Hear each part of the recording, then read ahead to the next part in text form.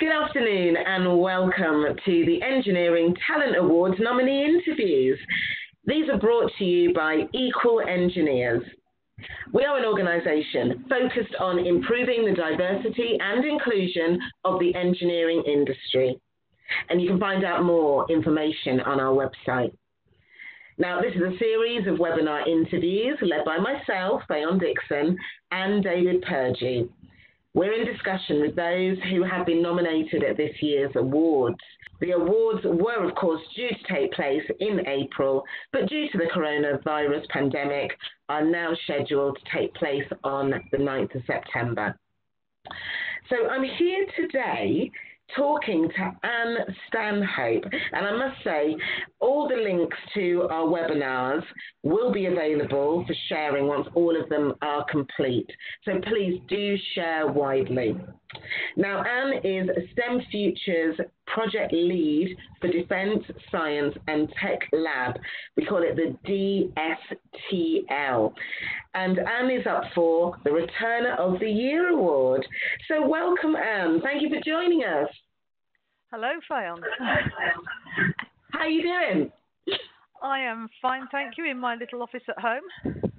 Wonderful. This is it. We are all at home doing our best. You're not all zoomed out yet, are you? No, no, not too bad. it's quite a time. It's brilliant. It's a really uh, creative time and uh, a, a, time of growth, I think. A lot of us are having to grow quite a lot and change the way we do things. Don't you agree? Yes, we're actually using the opportunity to get lots of things in place so that when we are all unlocked and back to work, well, properly in our normal way, hopefully, um, we'll have lots of lots of plans and initiatives ready to go. So that's really very exciting. Oh, that sounds fantastic. So, um, do start by telling us a little bit what the DSTL actually does. Right then, well, DSTL, as you just mentioned, is the Defence Science and Technology Laboratory. It's pretty well known in the country. We have several locations at two main sites at Porton Down near Salisbury and Portsdown West, which is quite close to Fareham and Portsmouth on the south coast. Um, the lab's overall purpose is to de- deliver the science inside UK national security. And to do that, we have specialist science and engineers, some of the best in the business, working in several technical areas. That sounds absolutely incredible. I mean, I've been down that part of the world actually to Portsmouth. I've got relatives down there. So you are the STEM Futures project lead. What does the role entail? Right. Well, actually, um, my title is STEM Futures project lead. I work on two or three things, but I suppose principally the STEM Futures scheme is a partnership of 17 different organisations. Some of us are from government, some from industry, and some academics from the universities. And between us, we are nurturing the capability of people who work at DSTL, but also across the UK defence and security enterprise. So we're trying to develop people in all of those organisations we do that by using placements between each organisation and educational opportunities, just to make sure that people are being developed with the essential and critical skills that are needed by the industry. Um, mm-hmm. Something else I do is a research project. Um, I look at ways to recruit people with STEM skills, but from different backgrounds. So, two of those are STEM returners and military veterans.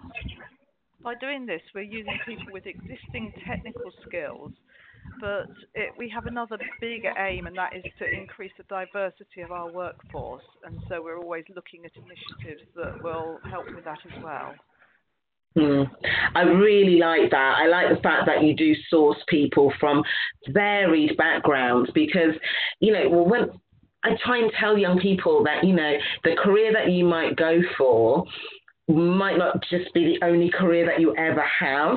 there are so many crossovers and transferable skills, and uh, it all is a beautiful melting pot when it comes to you know engineering, isn't it? It is, yes, yes. We we have people with all sorts of backgrounds who come in, but the essential thing is really that they've got the the STEM skills in the first place, and then we can build on them. Mm, yeah. Now you are up for the Returner of the Year award, and I mean this award is aimed at people that have been out of the workplace for a number of years. And I happen to know your career break was 20 years. So can you just tell us, you know, why did you have that break and what were you doing in all that time? Okay. Well, I have always in the past, so going back to my first career, if I think of it as career one and career two, my first career after I graduated was really on the interface between engineering and science. I worked as a researcher making optical devices.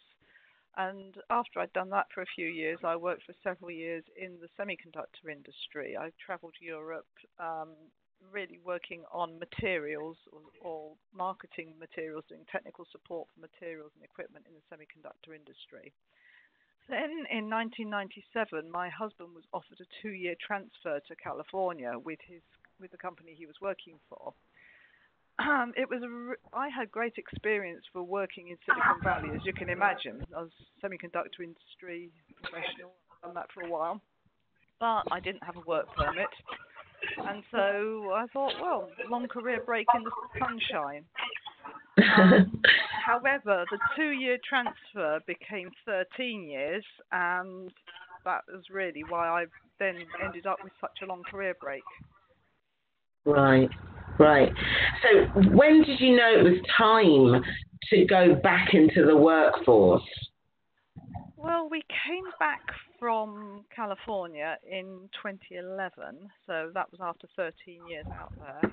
I'd got two daughters at the time who were both, well, I've still got two daughters, but they were both at school. Um, and I was trying to support them. They'd obviously come in from a foreign education system, and we had the various challenges of trying to get used to the British system again. And for quite a while, I was happy enough to work part time from home. I did some technical writing, which was really good just to keep keep my sort of mind ticking over. Um, but to be honest, that's really quite lonely.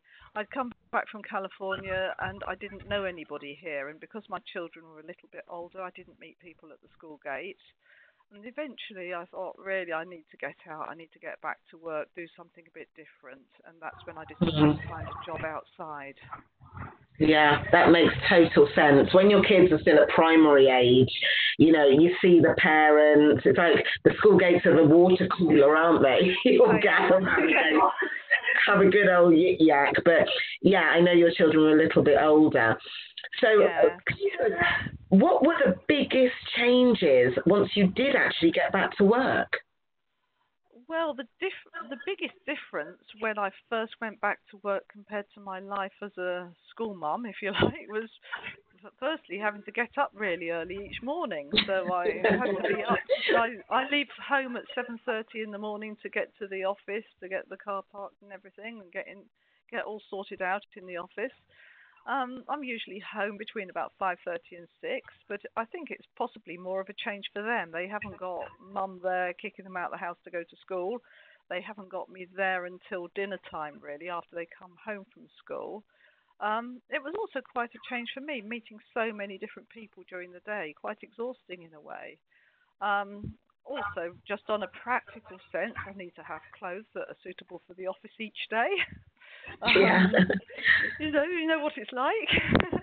Yeah. so, yes, it was really quite a transition, but a happy one.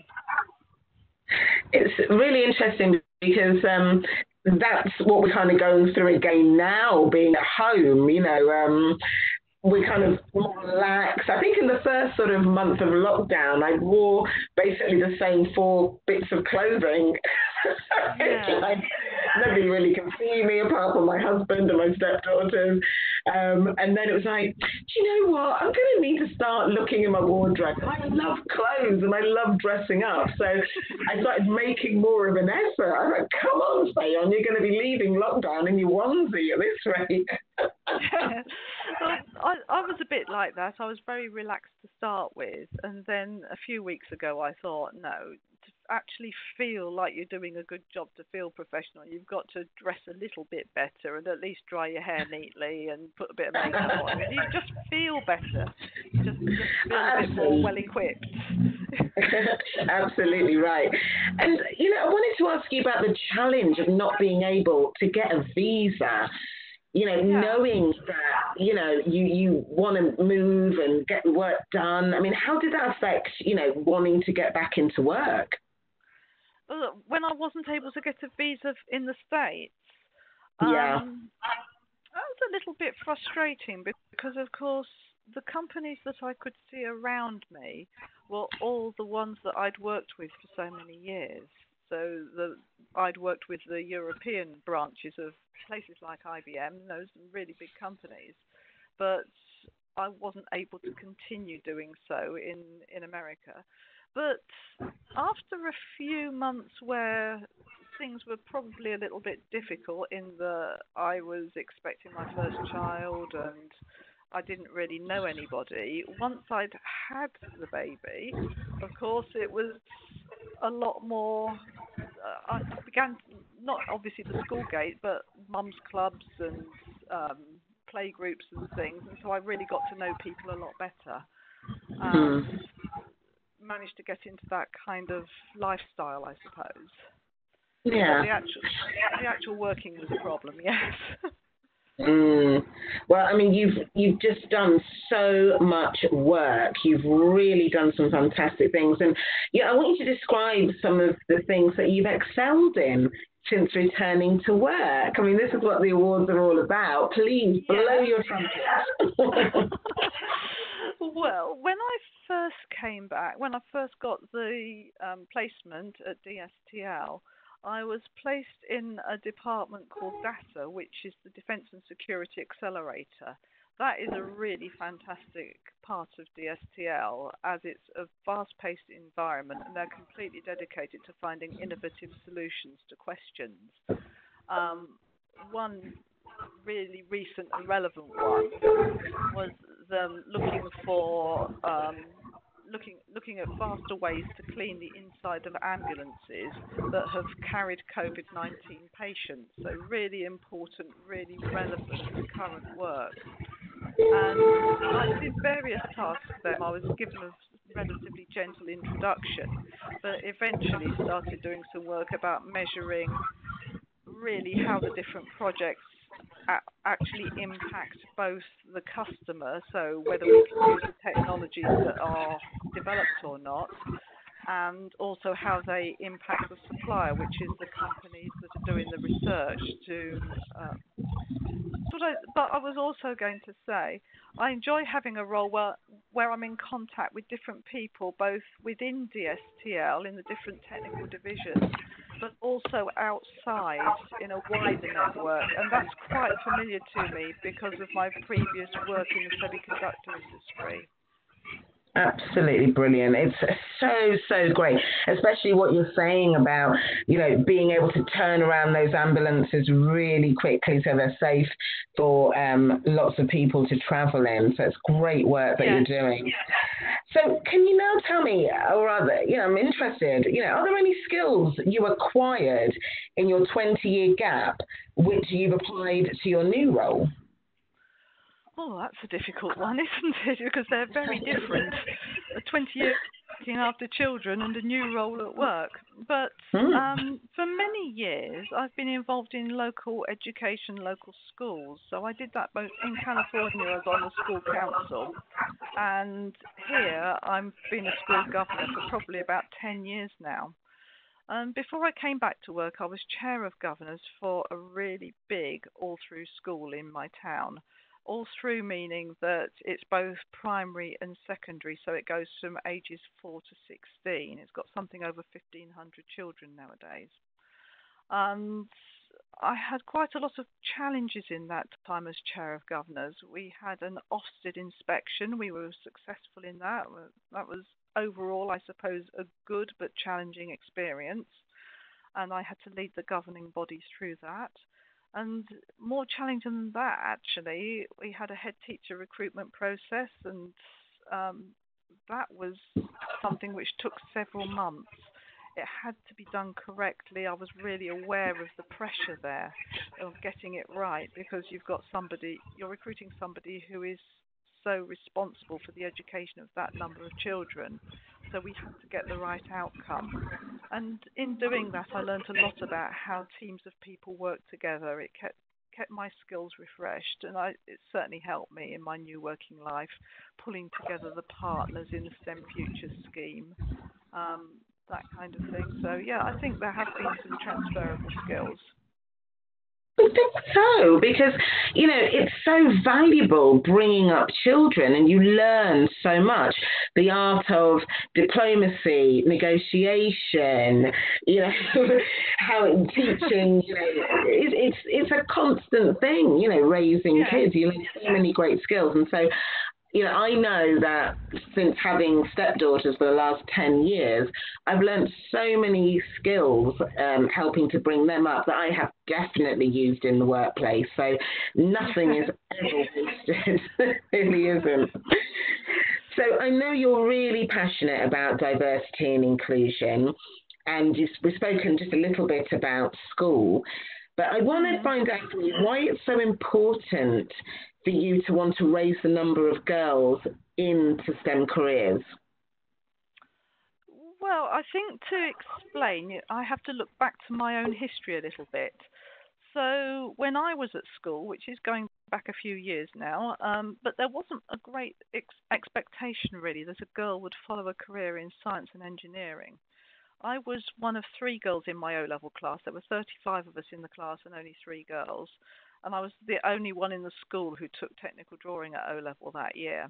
Then, when I was at university, the ratio was about 1 in 12. Now, I was actually checking this morning, most subjects, things have moved on a bit, but um, the statistics say that fewer than 1 in 5 students in engineering, technology, or computer sciences now are female, which is still mm. a hmm. very poor ratio. And there's so Absolutely. many reasons I, I really think there are many reasons to increase the number of female engineers. There's the advantages that diverse, diversity of ideas bring, bring, and the fact that we're missing out on so many great people if we don't include women in the workforce to a greater extent. Um, I really think, though, that to increase the number of female graduates in technical and scientific subjects, we need to first look at A level and increase the number of girls taking physics, maths, computer science at A level. And to do that, they've obviously got to do well lower down the school. So, um, going back to my work as a school governor, I'm the Careers Link governor at school, and I work with them to make sure that all pupils get the opportunity to explore the whole variety of careers and all the options that science and technology bring. I think it starts even before that, if you don't mind me saying, with regards to how little girls play. And yes. you know, when I, when I when I was a little girl, I had nothing but loads and loads of dolls, and it was all about dressing them up. It was all about cooking, and there's a baby doll, and doing the hair, and then eventually makeup and stuff. And you know, I'm pleased to know that there's the Lottie doll out there. Have you seen the Lottie doll? I haven't. No, no. She's oh, she's great. So Lottie Doll, I always see her when I um, go to engineering events, and she's like a um, like a you know like a doll, like a Sindy doll, but yeah. she's in different guises of engineering outfits, and she has a profile. She's a mechanical engineer. She's a structural, you know, a mechanic. Yes. She is an architect, and uh, I mean, there's more books that are coming out now as mm-hmm. well for younger girls, which are aimed at them specifically so that they know it's okay for them to yeah. want to play with Lego and stickle bricks and build and you know it's absolutely fine and you know I used to always want to play with my cousin's action man because he had the really cool Jeep you know so you know oh, I put yes, my action Man were great. Oh my gosh, yeah. And, you know, I played with Scalextrics as a kid because my neighbor Alistair had it. And, you know, there's all that. So I did a lot of, you know, sort of boys' toys as well. And um, I was an only child, so there was all of that going on. But it has to start from, you know, getting rid of the pink and blue, girls only wear pink, boys only wear blue. You have to play with this kind of toy because it sets a it sets a subtle seed in the child in the child's mind from a very early age that they have to follow a certain path, and we know it's just not true. Oh no, no, I, and I completely am with you on getting rid of the pink and getting rid of things labelled girl and labelled boy. That really annoys me more than anything. Although if I look back to when I was a kid, I don't think everything was pink. I think things were other colours. I, I think the pink is a kind of 80s, 90s kind of thing. And Actually, I think you're right. I think yellow, yellow was a thing. Mm. I think yellow was a thing when I was younger. Really, but now I think we're mm. beginning to we're beginning to work our way through that, and hopefully, um, with various campaigns like the Let Let's Toys Be Let Toys Be Toys campaign, will mm. um, will sort of begin to break through that and make girls realise that they can equally play with trains or cars or whatever. They can build things. I mean, what fun building things! But in the same way, of course, you have to bring through boys the nurturing side of boys. There's no reason yes. not to do that as well. Absolutely right. Absolutely right. It, you know, education is for all. There shouldn't be any boundaries in how you go about learning.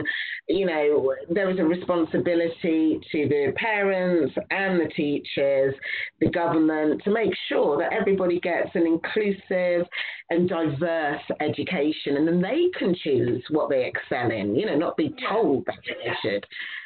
Whew got that off my chest. yeah, it's so true. And you're right. If we don't get that perspective from different, um, you know, different uh, genders, and you know, it's just it's a waste. You know, people are wasting away doing uh, things that they don't want to do because they never knew they had the opportunity to do them.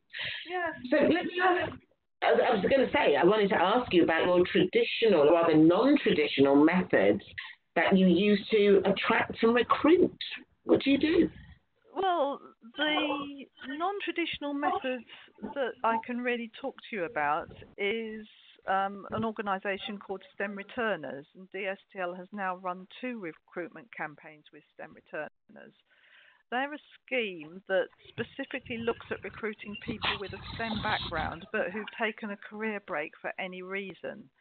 So, like for me, it was child or family reasons, you could say. Others, it could be looking after um, elderly parents. It could equally be for health reasons, redundancy, other causes. Any reason why somebody is having difficulty returning to the workplace. And the idea is that STEM Returners introduces a group of people to an organisation and they attend an event as a group where they can find out more. And in my case, we had very, very informal interviews. If the interview is successful, the organisation offers the candidate a placement. So we did a 12 week placement. It's got to be proper work that's worthy of going on the CV and with a proper salary. There's no promise that you'll get a permanent job after 12 weeks, but in practice, I think the success rate is something like 96%. So it's a really high rate of people who go, have the placement, then go on to get a permanent role. So I mm-hmm. said DSTL has run two campaigns in this way. Well, the first campaign, I was one of the successful people taken on. So that was really great for me. There were six of us who were taken great. on. And then last December, December 2019, I organised an event because by then I'd moved into my new department, the STEM Futures. So I organised the next event, and that resulted in seven returners being offered placements. Wow! So we've had the first two have actually joined. Um, unfortunately, we got locked down before the other five could join, but we're hoping that they'll be able to um, start with us very soon. Yes. Yeah, it's one of those, isn't it? It's um, affected people in so many ways. yeah, yeah, absolutely right. But um, okay, so with regards to those five, they're just on ice at the moment, and you're going to get back to them Quite on ice. There's, I think um, we're, we're doing different things. Uh, there is now a way that you can join, I believe, without actually coming onto site, so they can okay. computer and everything and do all the induction.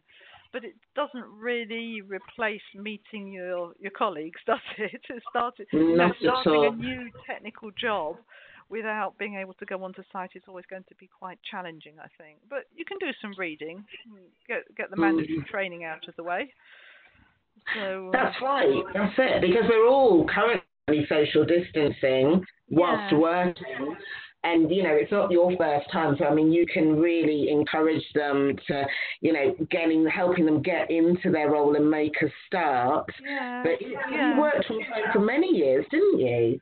I did, yeah. So when I worked in America, I I did finally, I, having lived in America for what it must have been getting on for seven or eight years before I got a work permit. But eventually I did get a work permit. All sorts of things got in the way at the time, as you can imagine. You know, there was 9/11 and all sorts of things that really meant that they tightened up on work permits and visas. But eventually I managed to get a job where I was working as a technical writer from home. And that was actually quite similar to this, but even more isolated in a way because um, in that job I was working in California, but my boss was in Germany. And I'm pretty sure it was about three years that I was working before I met my boss, which was very oh, strange, actually. that is strange. it, it did work well because I was more or less like the night shift for their team. So the team in Europe would do their work during the, the European day, and then I'd be able to take over at night and get some writing done so that they had it the following morning. So it actually worked right. really quite well. Okay, excellent. I mean, I'm all for varied hours. Um, I've always. I remember walking to school, secondary school, and just thinking, I would love to start school at 6 a.m. and be out by 11 11, 12 tops. I remember having this dialogue with myself as I used to walk to school because I love the mornings and I think get get that done and then you still got the rest of the day. You know, not everybody yeah. wants to work at a certain prescribed time. Some people work better at different times of the mm-hmm. day, don't they? Yeah, and actually that's one of the great things about DSTL as well. We we do have flexible hours. So obviously there's a kind of expectation that you'll be available for meetings as as needed and things, but we do work flexible flexible times so that once I've done my 37 hours in a week, I know that anything more than that that I work goes into the flex the flexi time pot. And mm. if I work up enough hours, I can take an afternoon off or a day off, which is really nice.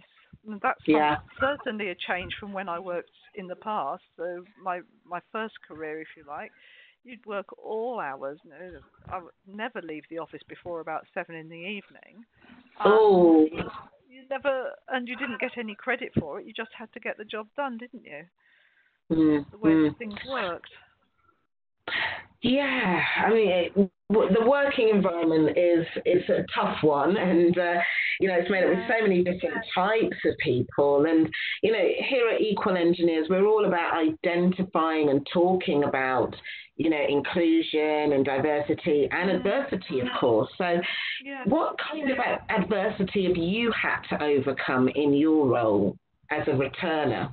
Um, well, I think immediately before I returned, the the biggest problem for me was that I would apply for jobs, and I applied for ever such a lot of jobs, but I wasn't getting interviews.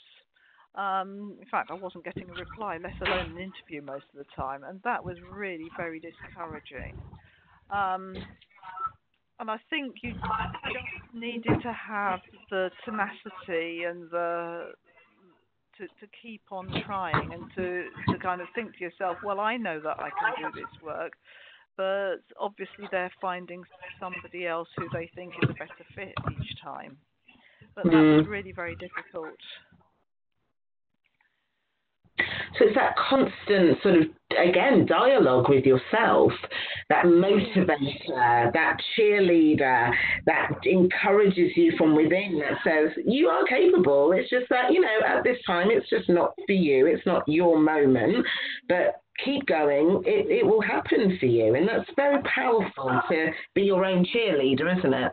You you have to, but also I think it's very difficult without something giving, some some kind of change. Because if you can't mm. talk about that recent experience, now, when when recently did you have to have a difficult conversation in your team, for example? It's very mm. difficult to get an interview if that's one of the questions, um, mm. and you hmm. really haven't got that um, experience unless you can dredge it up from your you know from your voluntary life or something like that. It, that yeah. kind of thing is going to be very difficult. And for me, STEM returners was the difference. Once I found STEM returners, they really were able to give me a lot more confidence, and mm. um, that was that was a huge help. They said, "Well, where would you like where would you like to work? What would you like to do?" Um, have you thought about this company? Have you thought about this company? Oh, oh, right. What you mean? There's actually a chance for me there, and that was so much more encouraging. They did a lot by phone rather than with a detailed um, application form, all very light touch, and then um, the the short interview at DSTL followed by the the 12 week placement made all the difference to certainly me and I think the rest of the, my colleagues who joined at the same time. Mm. Sounds like you've got a really great team. What are you most proud of with working with them? Um, well, obviously, I'm very proud to work for DSTL because it's an organisation that does such vital and cutting edge work for our country that's something I never expected that I'd be doing. I'm proud of the STEM Futures program. We've put that together. It's grown really fast over the past year or so, but it's helping to develop the, the capabilities in people that we need, not just ourselves as the STL, but right across UK defence and security. Um, and of course, I'm also proud to be able to give others the chance to return in the way that I did. Yeah, it's it's so it's fantastic because you know you, you speak or you hear from a lot of people that get to a certain age or they've had kids and they're out of it for a while or they've had an illness and they've not been able to be at work but now's the time for them to go back. And there's so much there inter- internally that can stop you but also outwardly as well. So to hear you've got this great team and great resources is really refreshing. It really is. So, speaking about people who, you know, have had long career breaks, how would you encourage anyone who's looking to return back to work? Um, well, I think the first message has got to be don't give up. It's not always easy, it's not always quick to find something, but definitely don't give up. I'd also really recommend contacting an um, STEM returners or an organisation like that um, they've got so much practical advice to offer. They've potentially got leads into a partner organisation. Because they've got so many contacts within the industry. They've got campaigns running with different companies all the time. Um, if there's nothing around immediately, then don't lose time. Do do some volunteer work be a school governor, do something of that kind, or capitalize on whatever interests you have to stay active and involved, and maybe pick up some useful skills as well. Yeah, I think that's really, really good advice. It's staying active, and sometimes if you can't get in or rather back to where you were, then definitely, you know, learn something new because you have that whole transferable skills thing. Nothing is ever wasted, ever. no. Um, and, also, I, I would say that the work that I do now is very different to the work that I did in my first career. Yes, I started mm-hmm. in research, which is similar to what some of the people at DSTL are doing. Um, so I can, so I've got the kind of language that I can talk to them. I, I know what's going on. but also by the work that I did in the semiconductor industry. It was really good background, but it's not related to what I'm doing at the moment. You have to be quite mm-hmm. flexible. And now I'm doing development in other people, and it's not something I ever expected to do, but it is actually very, very fulfilling and rewarding, and it it marries very nicely with my interest in education. Mm, brilliant. Absolutely. So speaking of best, you are of course up for the uh, Returner of the Year award. I mean, what would it mean to you to actually win this category? Well, I'd be absolutely honoured to win, of course. Um, I think that, as we've been saying, returning to work has shown me that my experience and skills are still relevant and useful even after quite a bit of time. And that applies to other people who've taken a career break as well. So I'd really like to raise the profile of schemes like STEM returners um, and really to be able to say to people this is something that you can do. And that would be mm. useful to me. Yeah, absolutely. Ann, it's been absolutely wonderful speaking to you and hearing about, well, you shared a bit of a lot of your life actually with us, so thank you. It feels like it. okay, you're very welcome, and yes, so fingers crossed, and hope to meet. I hope to meet you in September. Absolutely right. Absolutely right. I'm looking forward to all getting together and seeing you all at this ceremony. So thanks again for joining us today. Thank you so much. We are all out of time. Thank you, Ann. Um, I will be up next. My next interview will be with Cameron Ingram. So do check us out, please. And of course, do share our wonderful webinars and uh, keep watching. And of course, like Ann was saying, we do look forward to being together in September at the award ceremony. And just a massive thank you to you guys for listening in, and I hope you enjoyed this webinar. See you.